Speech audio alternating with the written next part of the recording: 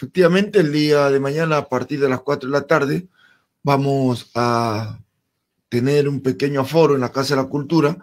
De allí vamos a hacer la rendición de cuenta, pero también a través de mi Facebook y vamos a transmitir esta rendición de cuenta y, de algunas otras páginas eh, sociales en función de lo que estamos viviendo, Fabricio. No se puede tener gran aforo debido a la pandemia, a pesar que hay alguna gente que ya tiene una vacuna, pero hay otro segmento de la población, un amplio segmento de la población que hasta ahora no ha sido vacunado. Se mantienen las medidas, hay que mantener el aforo, ¿no? Hay que mantener la medida, hay que mantener el aforo, porque la pandemia es una realidad, una realidad letal, está eh, muriendo muchas personas, y entonces hay que seguirnos cuidando, hay que seguirnos cuidando, y en esas condiciones vamos a ir a la rendición de cuentas.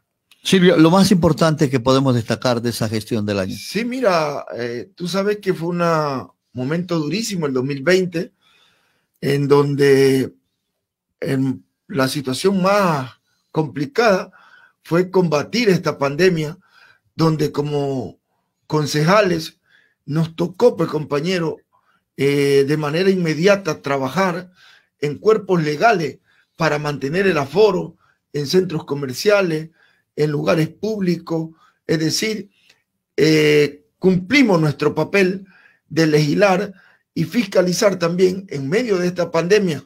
Se abordaron alrededor de seis normativas eh, para el tema del, del, COVID. En esa circunstancia eh, fueron ordenanzas que nos permitió también poder regular algunas situaciones en los centros comerciales, en mercados, en la playa, en bares y discotecas, y sobre esa base impedir que estos lugares sean puntos de contagio y junto a ello también eh, nuestra acción en, las comisiones donde nosotros eh, representamos, donde estamos designados. Por ejemplo, tuvimos que de manera adecuada articular en la comisión conjuntamente con el, con el departamento, la dirección financiera, y jefe de presupuesto para la reforma presupuestaria, donde los recursos, Fabricio, que se tenían previstos para, para celebrar el bicentenario en el presupuesto del año, tuvimos que hacer una reforma y traspasar más de 240 mil dólares para poder atender el tema de la pandemia que estaba en su pico más alto. Entonces fueron momentos muy críticos, pero también quiero destacar que en medio de esta pandemia, el gobierno nacional eh, nos ignoró las cuentas del municipio. Se nos eh, recortó un 23.15%. Y seguimos recortados. que representó más allá de medio millón de dólares mensuales y en esas condiciones eh, tuvimos serios problemas en medio de para poderles pagar a los obreros, para pagar al IES, es decir, trastocó todo lo que se tenía planificado en la obra pública. No obstante a ello, también quiero resaltar el hecho que pudimos atender desde la comisión y a través de la coordinación con obras públicas, pudimos atender algunas necesidades muy eh, prioritarias en algunos sectores. Muy, muy poco se pudo hacer en materia de legislación y también de creación de ordenanzas. Sí, se hicieron algunas, 29 eh, ordenanzas se pudieron eh, discutir, eh, porque soy vocal de la Comisión de Legislación y Proyectos de Ordenanza, 29 ordenanzas se pudieron estructurar, unas que se hicieron reforma, otras que se hicieron ordenanza sustitutiva, porque ya habían cumplido eh, su, ciclo, teníamos que reformarla. En cambio, pudimos nosotros sobre esa base también eh, reformar algo otras para poder crear estos cuerpos legales de acuerdo a lo que establece el COTA en su décima sexta transitoria, que obliga o que manda a que se actualicen algunas normativas y esas se las actualiza a través de reforma o sustituyendo. Es decir, a pesar de la pandemia, pero el cuerpo legislativo del municipio de Esmeralda estuvo trabajando permanentemente vía Zoom por los nuevos mecanismos que esta propia pandemia nos obligó a hacerlo por la seguridad de cada uno de sus miembros. Ya, Silvio, en otro marco, a mí me preocupa una situación, y esto siempre se lo dijo, incluso fue denunciado por usted, ahora usted mismo está pidiendo una investigación en la Contraloría, o que se haga una, una investigación en torno a esto de dar una escritura sobre otra escritura. Eh, es una situación bastante grave que se dio en la administración pasada. Sí, Fabricio, eso ha sido una pelea permanente, las denuncias en los medios de comunicación, porque es una, algo sui en Esmeraldas, Creo que en la única parte que ocurre eso, no sé si tenga conocimiento alguien en, otra, en otros municipios, pero aquí en Esmeraldas y fundamentalmente en el periodo anterior, eh, gente que tenían su escritura, cuando de un momento a otro aparecía otra escritura sobre esa otra clave catastral, es decir, una serie de manipulaciones al sistema cabildo, eh, dibujaban hasta altas horas de la noche.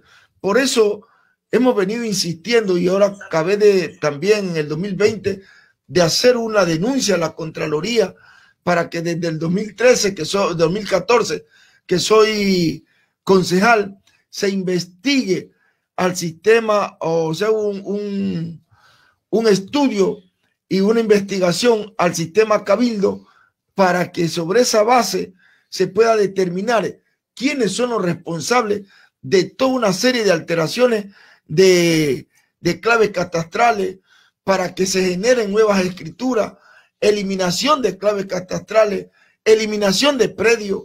Eso tiene que porque queda registrado en el sistema cabildo a qué hora, desde qué operador, quién estaba responsable de ese operador.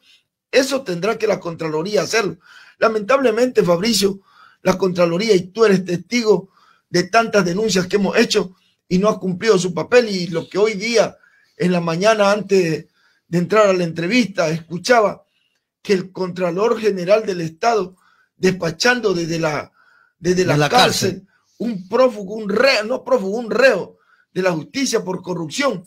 Desde allí el primer, el órgano de control de los recursos del Estado preso y desde allí despachando realmente una situación vergonzosa para el país. Sentimos como ecuatorianos vergüenza ajena que esta situación ocurra. Silvio, eh, a propósito de esto, incluso usted eh, en reiteradas ocasiones presentó algunas denuncias sobre el tema de agua potable, sobre el tema del catastro eh, de, esa época que debieron de hacérselo y, no, se, no se obtuvieron resultados. Ahí están las pruebas, el por qué estaba todo desde arriba prácticamente ya listo para podérselo hacer. Sí, lamentablemente eh, nosotros los concejales no somos ni jueces ni fiscales, tenemos una competencia, tenemos eh, atribuciones porque no podemos arrogarnos funciones que no nos competen. Nosotros no podemos sancionar a ningún eh, funcionario, simplemente hacemos la denuncia para que el órgano de control como es la Contraloría, en el debido proceso determine responsabilidades administrativas, civiles o penales, siempre y cuando se compruebe que se haya afectado a los derechos de la, de la, de la comunidad, que se hayan afectado los recursos que eran destinados para la obra pública o tal o cual situación. En esas condiciones, creo que en calidad de edil de este cantón, los esmeraldeños, los maestros, los barrios populares me conocen, soy una persona sencilla, pero una persona firme y, consecuente con mis principios que me orientaron mis padres, pero también mi organización política, como es eh, Unidad Popular. Soy un hombre de izquierda, eh, toda una trayectoria y el pueblo de Esmeralda me conoce. Sigo viviendo en los barrios de la Ribera del Río de manera muy sencilla, como, es, como vivimos la mayoría del pueblo ecuatoriano, y que estos espacios son para servirle al pueblo y no para servirnos nosotros.